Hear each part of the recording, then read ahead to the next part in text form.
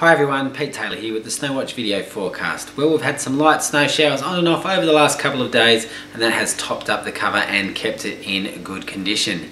We have an ice front coming through overnight tonight that should see snowfalls increase tomorrow morning, which is Friday, just in time for the weekend. Now we should see around about 20, possibly a little bit more centimetres in some areas tomorrow. And that should continue overnight Friday and into Saturday morning. And then it should start to clear later on Saturday. So we should see some excellent conditions for the weekend. And the winds will also start to ease. So good conditions indeed. Now we should see at least around about 30 centimetres between now which is Thursday night and through to Saturday morning which is excellent news. And the season continues to get better.